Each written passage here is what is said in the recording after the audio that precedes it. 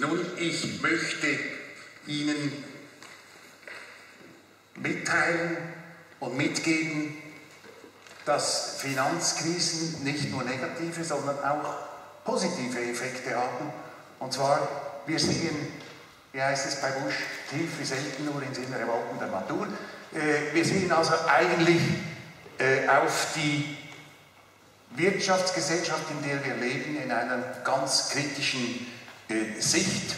Und die folgenden Überlegungen möchten aufzeigen, wie man von der Empörung über das, was heute ist, nach Essel eben zum Engagement kommen kann.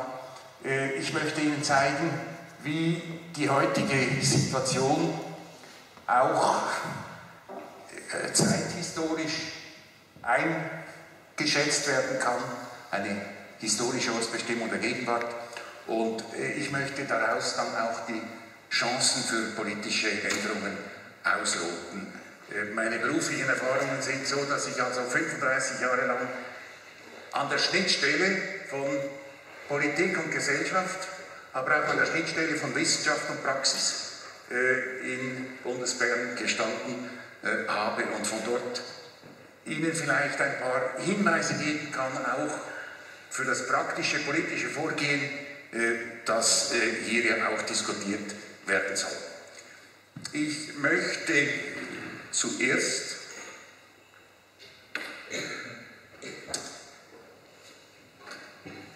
einige Erkenntnisse aus der Finanzkrise, aus einer neuen Situation berichten.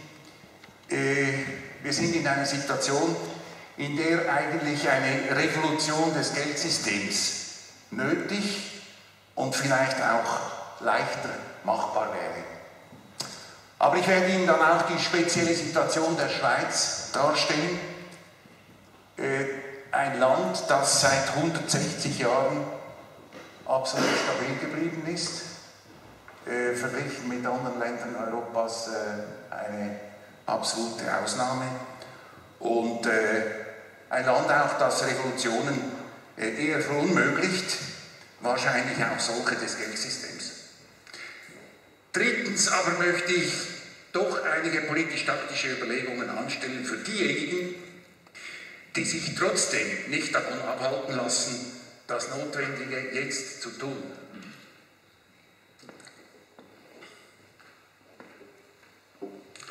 Zuerst zur Finanzkrise und den durch sie ermöglichten Einsichten auf unsere Wirtschaftsgesellschaft. Erst mit der Finanz- und Schuldenkrise zeigt der Finanzmarktkapitalismus sein wahres Gesicht. Es ist die Fratze einer ungerechten, die Freiheit beschränkenden und lebensfeindlichen Gesellschaft. Der Aufstieg der Finanzmärkte war immer schon krisengeschüttelt. Und es gibt dann auch ein großes Erstaunen über diese äh, Krisen, vor allem bei den Ökonomen. Die bürgerlichen Ökonomen, die sind erstaunt, dass es immer wieder Krisen gibt. Und die marxistischen Ökonomen sind erstaunt, dass man aus diesen Krisen wieder rauskommen kann. Aber erstaunt sind irgendwie alle. Und äh, ich bin der Überzeugung, dass es für uns wichtig ist zu sehen, dass diese Krisen, die vielleicht in den 80er und 90er Jahren noch vor allem an der Peripherie des Weltsystems stattgefunden haben, in Asien, Lateinamerika, immer mehr eigentlich auch ins Zentrum vorrücken. Wir sind immer stärker davon betroffen und äh, sie sind auch immer gefährlicher für uns, diese Krisen. Das Muster ist immer dasselbe.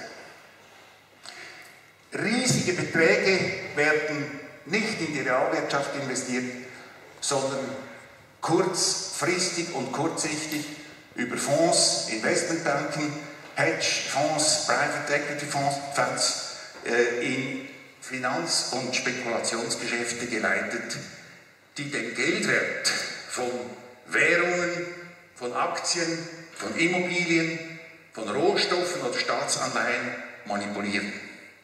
Es bilden sich riesige Blasen, die irgendwann plötzlich platzen und zu großen Ungerechtigkeiten führen und zu Krisen auch in der Realwirtschaft führen.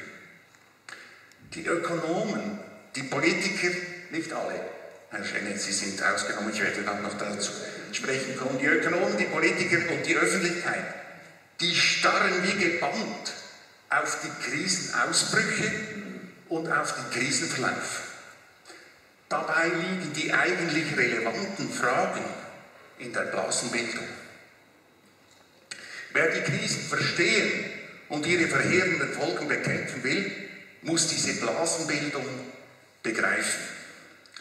Das Außergewöhnliche, für das wir Erklärungen finden sollten, ist also nicht die Finanzmarktkrise und wie sie so abläuft, sondern ihre markante Vorgeschichte, der Wandel der Banken und Finanzintermediäre von traditionellen Dienstleistern zu erfolgreichen und alles beherrschenden Geldmaschinen.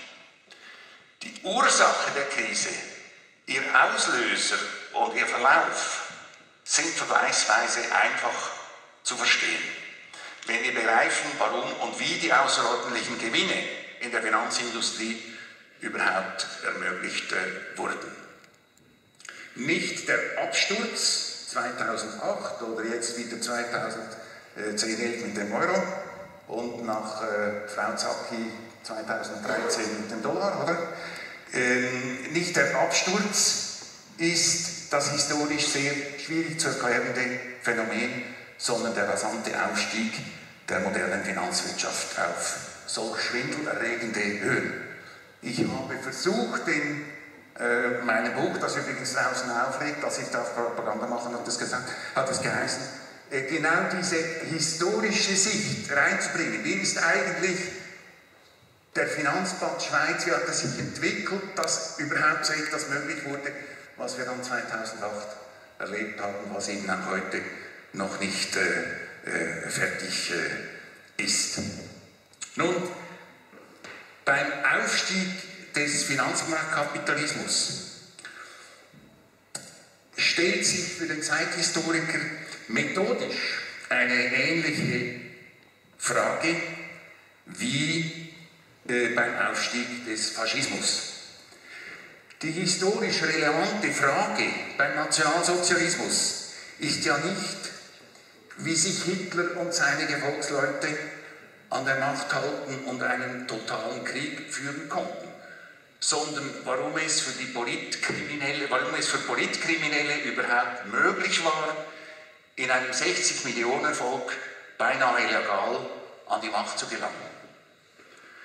Man wird dereinst auch fragen, wie es möglich war, dass eine kleine Finanzoligarchie die politische und kulturelle Hegemonie erringen und ganze Gesellschaften ideologisch beherrschen konnte, selbst dann noch als dramatische Finanzkrisen ihre Behauptungen Lügen gestraft hatten und niemand mehr sagen konnte, er hätte von der Gefährlichkeit der Finanzgeschäfte nichts gewusst.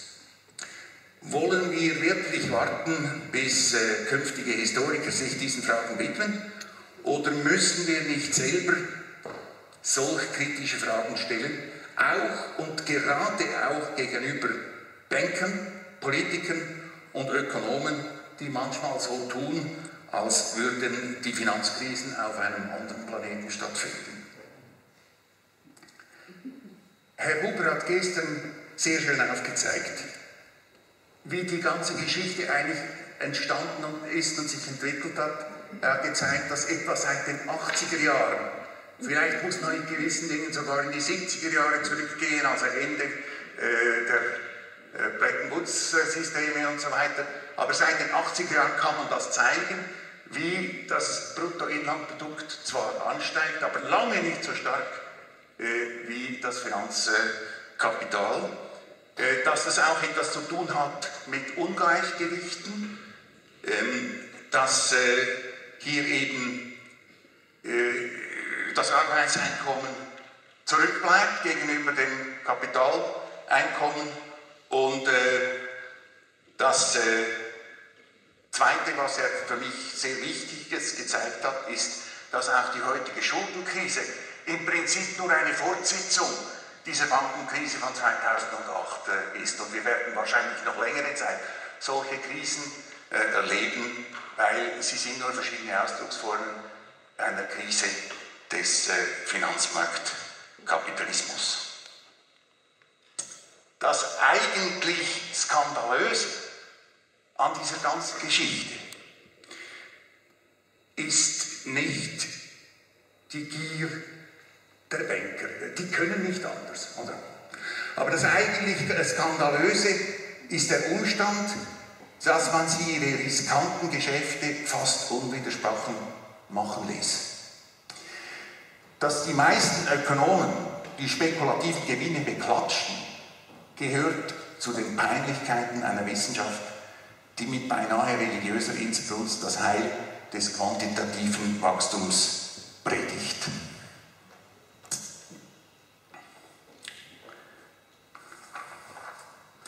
Ich habe gestern in der NZZ einen schönen Titel gelesen. Der heißt Konfuzius und Königsweg, da der Untertitel Die chinesischen Intellektuellen sind ins politische System eingebunden. Kritisches Bewusstsein entwickeln sie kaum. Ist mir in den Sinn gekommen, wann schreibt die NZZ mal einen Artikel? Die schweizerischen Intellektuellen sind ins ökonomische System eingebunden, kritisches Bewusstsein entwickeln sie kaum. Äh, gut, bei den Chinesen fällt einem das auf, im eigenen Kulturbereich fällt einem das dann etwas äh, weniger auf. Und mindestens der Elite, in der Basis hat man eigentlich schon sehr früh einen Unwillen entwickelt gegen diese ins Kraut schießenden Löhne und Boni, die Ungerechtigkeiten, äh, dass man den Leuten versprochen hat, Kapitalschutz und nach Brothers hat dann trotzdem das Kleingedruckte eigentlich äh, ist, ist richtig gewesen, oder? Und, äh, aber die Elite hat auf dieses Unbehagen und auf diese Kritik sehr unsanft reagiert. Äh, die NZZ hat da öfters auch von Neidökonomie gesprochen. Also für mich ist das nicht unbedingt Neid, sondern das ist ein gesundes Volksempfinden, äh, was man hier gespürt hat. Das Verrückte war ja, dass diese auch verschobenen Einkommens- und Vermögensverhältnisse nicht als Ausdruck einer kranken Gesellschaft oder einer kranken Wirtschaft aufgefasst worden sind, sondern dass man eine, das Gefühl hat, das ist, das ist, der, äh, das ist eigentlich der Erfolg. Und äh, Avenir Suisse hat ja sogar ein Buch herausgegeben, wo es heißt, ja, also, äh, dass wir heute keine Gerechtigkeit mehr haben, das ist ein Zeichen, dass unsere Gesellschaft wirklich am Wachsen ist und wirtschaftlich gut dasteht. Das muss so sein. Diese Ungleichheiten, äh, wenn die nicht da wären, hätten wir gar kein hätten wir gar kein äh, Wachstum. Hohe Profitraten, selbst im zweistelligen Bereich, denen haftete nichts Fragwürdiges oder gar Unanständiges an. Das hat man als normal äh, einfach äh, hingenommen.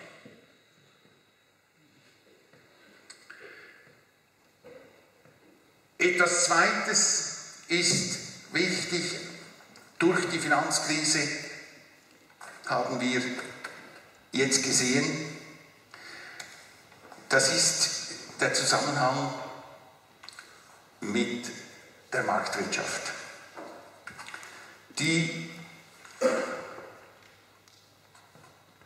Moment, ja. Ich glaube, die Finanzkrise hat eindeutig gezeigt, dass Märkte nicht alles regeln und vor allem nicht alles alleine und gut regeln können.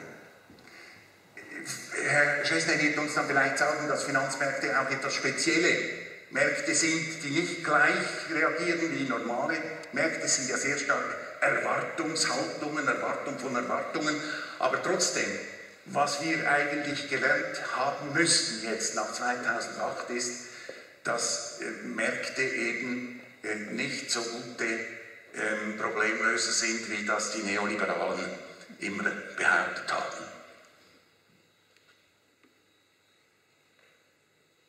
Es führt sehr oft zu Herdentrieb, prozyklischem Verhalten und äh, die Instrumente, die der Finanzmarkt entwickelt hat, haben das noch unterstützt. Ich müsste jetzt sehr viel über diese Instrumente sagen, aber wir haben einen Spezialisten für Finanzmarktinstrumente bei uns, äh, dem ich also an dieser Stelle auch ein Kränzchen winken möchte. Es ist ganz selten, Herr Professor Schene, dass äh, Banking-Professoren so kritisch und deutlich über den Finanzmarkt sprechen, wie Sie das äh, machen. Und ich bin Ihnen dafür sehr dankbar, äh, dass Sie hier auch den Finger auf den wunden Punkt legen. Kann aber das jetzt in meinem Referat etwas auf die Seite äh, rücken. Und mir scheint aber wichtig, dass man einsieht, dass, oder einsehen muss, dass Märkte nicht nur geniale Allokationsinstrumente äh, sind, Instrument, Allokationsmechanismen sind, sondern dass es hier eben auch sehr viele Schwierigkeiten äh, gibt. Interessant ist für mich die Phase 1950 bis etwa 1970, 75. Das ist eigentlich, wenn man zurückschaut, die Zeit, wo wir den fairsten Kapitalismus äh, hatten, äh, wo alle Schichten auch wirklich profitieren konnten, wo die Einkommensentwicklungen nicht auseinandergingen, sondern eher sich annäherten. Und wenn man das genau anschaut, dann sind dort eben nicht nur Märkte am Werk, sondern es ist eigentlich ein 3M. Also nicht von der Migros, sondern Markt, Macht und Moral spielen zusammen. Also der Markt, dann wird politisch und durch den Staat werden Vorgaben gegeben und Sanktionsmittel äh, zur Verfügung gestellt, äh, wenn man sie nicht daran hält. Und was, glaube ich, sehr wichtig ist, es braucht auch eine Art persönlicher ähm, Einstellung, Haltung äh, gegenüber einem Marktsystem, dass man das nicht äh, ausnutzen will, nur im eigenen egoistischen Interesse. Also Friedmans Ausdruck, äh, the business of business is business, hätte man in der neokorporatistischen Phase 50er, 60er Jahre nicht äh, gebraucht, sondern da sah man, dass es neben dem Markt und neben dem persönlichen Fortkommen auch noch andere äh, Werte gibt. Ich glaube, aus dem, was jetzt 2008 geschehen ist, sollten wir zwei Einsichten ähm, mitnehmen.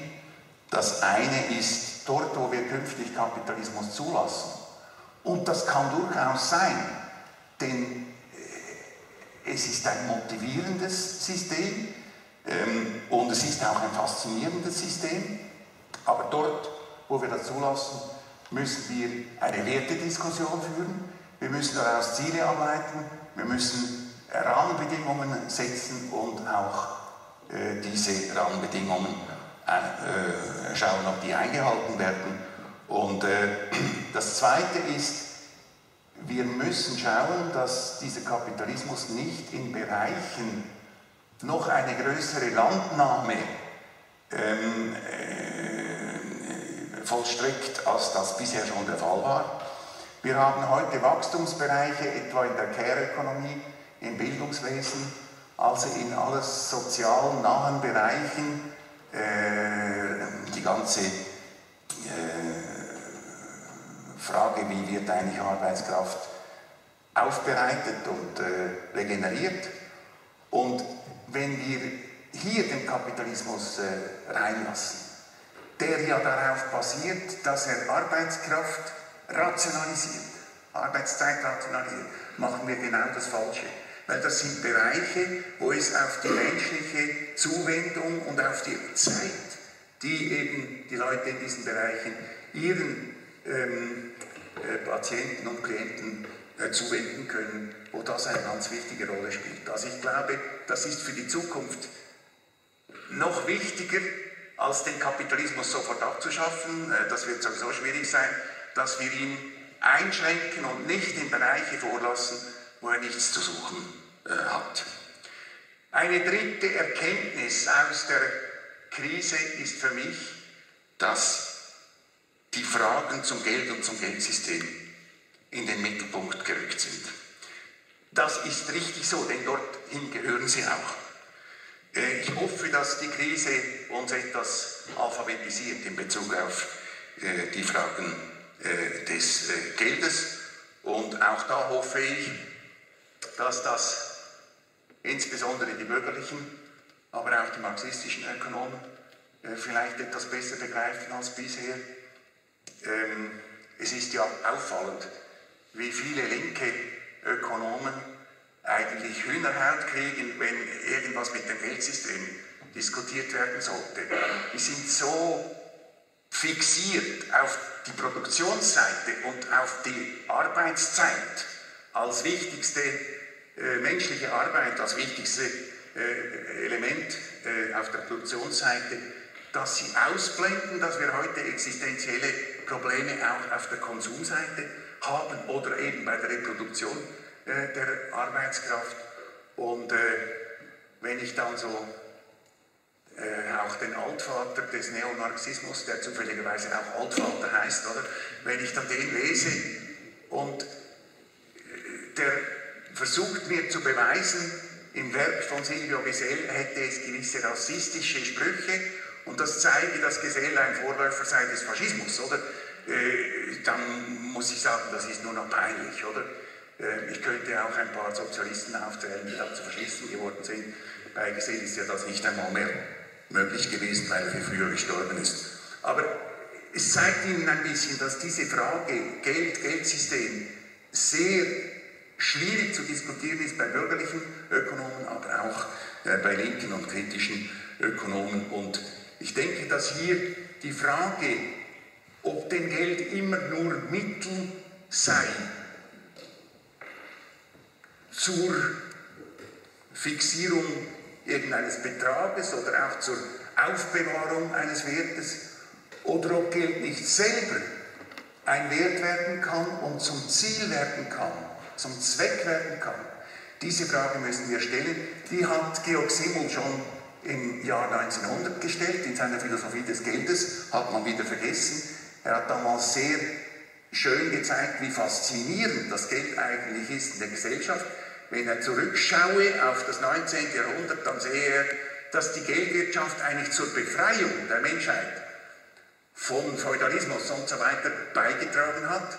Wenn er aber nach vorne schaue, dann hätte er Angst, weil dieses Geld so potent ist, dass wir bald einmal die Gefangenen dieses Geldes würden. Und äh, was wir 2008 erlebt haben, ist genau äh, diese äh, Geschichte. Ich äh, sehe, dass ich etwas abkürzen muss, möchte zum zweiten Punkt noch Folgendes sagen.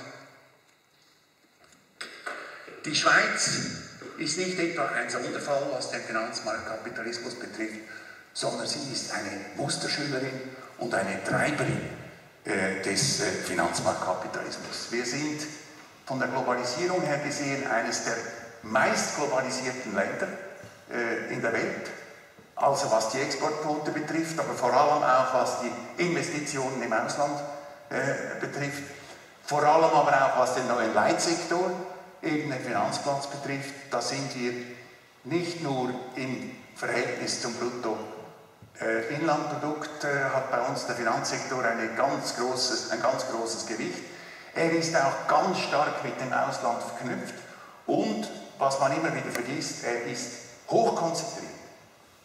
In unserem Land haben die zwei größten Banken, äh Banken kurz vor der Krise 2007 eine Bilanz gehabt, die achtmal größer war als das Bruttoinlandprodukt der Schweiz. Heute ist es noch fünf oder sechsmal größer als das Bruttoinlandprodukt. Die zwei größten Banken. Wenn Sie als Vergleich Amerika nehmen, dann haben alle Banken zusammen, alle Banken zusammen, eine Bilanz, die gleich groß ist wie das Bruttoinlandprodukt Amerikas. Also Sie sehen ein bisschen die Gewichtung, oder, die äh, hier in der Schweiz eine Riesenrolle spielt. Und äh, das hat sich dann auch ausgewirkt auf äh, die letzten Jahre und Jahrzehnte ist aber auch eine Sache der Geschichte der Schweiz. Wenn wir zurückschauen, dann ist die Schweiz zwar für sich abgeschlossen, kleinräumig und äh, auch kleinkariert. Aber das große Geld hat die kleine Schweiz immer im Ausland verdient. Sei das mit äh, Passhandel, sei das mit äh, Reislaufen, äh, sei das später mit Handel etc. und heute mit dem Bankensystem. Also wir sind da sehr schizophren. Auf der einen Seite sind wir völlig, äh, äh, wie soll ich sagen, also ein, ein äh, selbstreferenzielles System, mindestens kulturell meinen wir das. Und auf der anderen Seite sind wir sehr verbunden oder mit, mit, äh, mit dem Ausland und beziehen hier äh, auch die größten äh, Einnahmen. Äh, was typisch ist für die Schweiz, das vergisst man immer wieder. Wenn die Politologen kommen, sagen sie, ja, die Schweiz ist klar, liberaler Arbeitsmarkt und so weiter, ist ein liberales System von Neokorporatismus und so weiter. Stimmt nicht. Wir haben den Liberalismus gar nie richtig gehabt. Äh, bei uns haben immer die Wirtschaftsinteressen, die aktuellen großen Wirtschaftsinteressen eine Riesenrolle gespielt.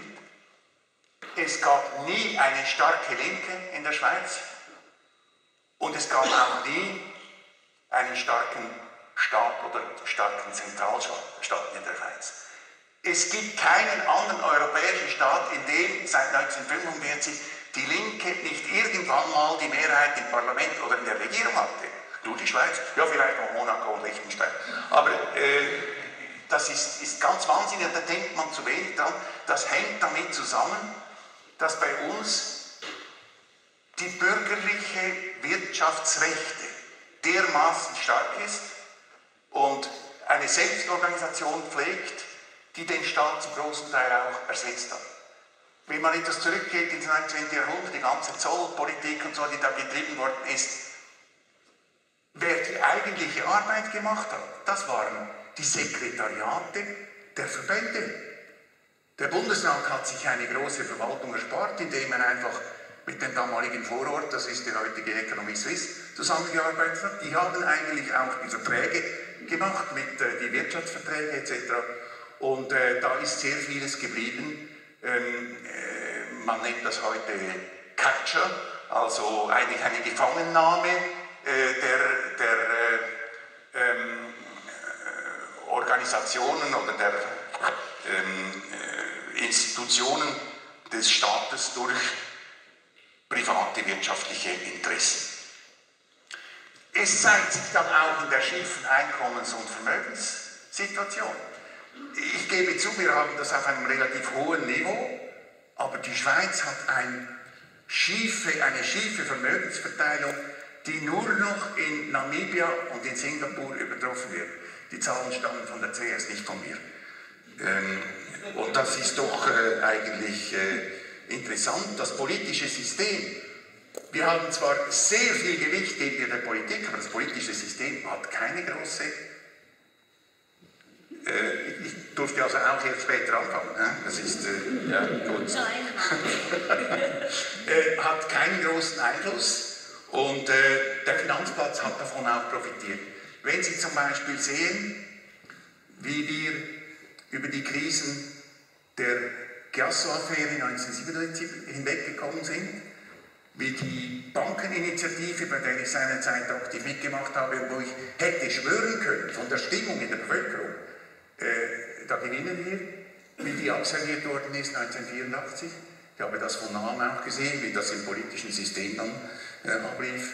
Wenn Sie dann sehen, wie die Bankenaufsicht organisiert war, ähm, nach dem großen Zusammenschluss der Fusionen in den 1990er Jahren, 1998 hatten wir nur noch zwei Großbanken, Anfang der 90er Jahre waren noch fünf Großbanken. Äh, in dieser Bankensterben der 90er Jahre hat es diesen Konzentrationsprozess gegeben und äh, 98 hat dann die damalige Bankenkommission, das ist die heutige FINMA, gesagt, ja, wir müssen diese Großbanken speziell behandeln. Und man hat eine Abteilung Großbanken geschaffen, die wird heute geführt von einem ehemaligen Direktor der, einer Großbank. Ähm, und wissen Sie, was die gemacht haben? Die haben den beiden Großbanken weniger starke Vorschriften gemacht in Bezug auf die Eigenmittel, als das Allianzbanken hatten. Obwohl man das Gegenteil eigentlich hätte tun sollen. Diese Banken sind ja international sehr riskant unterwegs. müssten höhere Eigenmittel haben. Das hat man jetzt eingesehen bei der Too Big to Fail ähm, Geschichte, aber damals hat man die geschoben. Man hat 2004 der UBS erlaubt, ein neues Risikomodell anzuwenden, das dazu geführt hat, dass die UBS von allen Weltbanken mit dem kleinsten Eigenmittelanteil von 1,8% in die Krise gerasselt ist. Alle amerikanischen Banken hatten mehr Eigenmittel als, als äh, äh, die Schweiz. Jetzt sagen wir, ja, wir haben das Problem gelöst, too big to fail, dass die Schweiz geht da voran. Wissen Sie, wie viel Eigenmittel die UBS heute hat? Das ist äh, vor kurzem publiziert worden, 3%. Also 3% der ganzen Aktiven sind Eigenmittel und wir wissen, dass die Bankenwelt die Krise der frühen 90er Jahre, also eine Immobilienkrise, nicht bestanden hätte mit nur 3% Eigenmittel. Das wäre alles zusammengekracht. Und jetzt wissen wir, dass es gefährlicher ist als damals und wir geben uns schon zufrieden mit 3% Eigenmittel. Wir trauen uns nicht, ein Trennbankensystem einzuführen. Ähm, wir trauen uns nicht, in die Geschäftspolitik der Großbanken äh, einzugreifen etc. Ich muss noch ganz kurz zum dritten Punkt etwas sagen. Volksinitiative. Wir haben eine wahnsinnige Hochachtung vor der direkten Demokratie. Und ich muss sagen, ich finde vieles auch gut daran. Aber wenn man mal ganz genau schaut, was eigentlich die Funktion der direkten Demokratie war, in der Geschichte der Schweiz, so hat sie praktisch keine gestaltende Funktion, sondern nur legitimierende Funktion. Also es ist ganz selten, dass auch Initiativen zum Beispiel äh, gegen die Meinung der Elite durchkommen. Eine war zum Beispiel die Alpenschutzinitiative. Sie wissen, wie es der ergangen ist. Man hat dann einfach mit der EG Verträge geschlossen und hat sie unterlaufen. Und äh, wir wissen auch, wie es mit der Ausschaffungsinitiative äh, ging. Gut, da kann man ja noch ein Auge zudrücken. Aber äh, bei der Zweitwohnung-Initiative sehen wir das jetzt wieder. Also wenn, wenn mal eine Initiative durchkommt, die der Elite nicht passt, dann wird sie nicht ausgeführt. Und das Referendum hat eine unheimlich konservative Wirkung, vor allem auch auf das politische System. Ich kann mich gut erinnern, 1976 war das, ähm, da gab es einen IDA-Kredit um 200 Millionen. Ähm, der ist praktisch ohne Gegenstimme durchgekommen im Ständerat und im Nationalrat. Und dann gab es ein Referendum von rechts außen Schwarzenbach und von links außen der Rudi Strahm mit der Erklärung von Bern, oder? Die beiden haben Stimmen, haben Unterschriften gesammelt, es gab eine Volksabstimmung. Es gingen nur wenige Leute hin, aber die, die hingingen, hatten Nein geschrieben, oder? Und äh, da ist also gegen eine kleine äh, Bevölkerungs, kleinen Bevölkerungsanteil ist praktisch die Mehrheit des Parlaments äh, ist hier äh, desavouiert worden. Und ich habe das gespürt und gemerkt in den politischen Gremien in Bern, wie das Angst gemacht hat. Und das Entscheidende im Referendum ist nicht, dass das Referendum ergriffen wird und dass irgendwas anderes rauskommt, sondern dass man alle fünf Minuten sagt, wenn ihr das nicht so tut, ergreifen wir das Referendum. Oder? Äh, das ist eigentlich die, auch die konservative ähm, Wirkung äh, der Volksrechte äh, bei, bei uns. Und ähm, ich muss jetzt da einiges überspringen, aber ich will Ihnen nur sagen, wenn Sie die Initiative machen, zur, wo die, Geld, die Probleme der Geldschöpfung ähm, geregelt werden sollen, so bin ich nicht ganz sicher, ob die Leute das wirklich auch verstehen. Ich glaube, dass es wichtig ist, anhand von dieser, einer solchen Initiative Bewusstsein zu schaffen über Geld und Geldsysteme. Aber es ist doch eigentlich eine technische Geschichte, oder ich sage besser, eine Geschichte, wo es viel technisches Wissen braucht, um sie beurteilen zu können. Und von daher bin ich eher der Meinung, wir müssten breiter werden und eine, wenn wir schon eine Initiative machen, vielleicht sogar ein Bündel von Initiativen oder von Vorstößen, dann müssten wir die ganze Finanzmarktgeschichte auch versuchen zu regeln. Sehr vieles äh, lässt sich hier nicht über die Geldmenge steuern äh, sondern eben gerade was auch die ähm, Instrumente auf dem Finanzmarkt betrifft, muss man wahrscheinlich äh, anders vorgehen. Parlament, Bundesrat und FINMA sind für uns keine Partner. Wir brauchen Partner. Die Partner werden wir finden in den anderen Bereichen, wo man sich eben auch aufregt und sich engagieren äh, will. Und äh, ich möchte hier auch einen Punkt äh, noch mitgeben. Machen Sie nichts Falsches bei den alternativen ähm, Geldsystemen und bei den anderen Währungen. Ich will da nicht Frau Kennedy vorgreifen, aber da ist, das ist gefährlich, oder? Das, die müssten wir als Bündnispartner äh, versuchen anzusprechen und sie nicht von vornherein äh, vertäuben, indem wir sagen, also äh, irgendein anderes Zahlungsmittel als äh, der Nationalbankfranken ist dann überhaupt nicht äh, äh, möglich. Die Nationalbank, da könnte man zuerst meinen, ja, die hat uns ja eigentlich auch geholfen. Der Hildebrand hat ja sehr kritisch eigentlich die Bankenpolitik und die Großbanken da ähm, kommentiert. Ähm, darum ist er wahrscheinlich auch weggeputzt worden. Ähm, aber wenn man genauer hinschaut, dann ist die Nationalbank ein zentraler Player des Bankensystems. Dürfen wir nicht vergessen. Also die Nationalbank steuert zum Beispiel die äh, Kaufkraft des Frankens und die Außenwährung über drei äh, Instrumente, über den äh, Libor-Satz, über die Schweizerische Nationalbank Bills und über Devisenswaps. Und für diese Tätigkeit ist sie auf die Bankwelt angewiesen. Ohne die Banken kann sie das gar nicht machen. Von dort her wird sie sich hüten, äh, zu sagen, ja, wir stimmen jetzt hier eine Geschichte bei, die uns zwar stärkt, aber die unsere Partner äh, schwächt.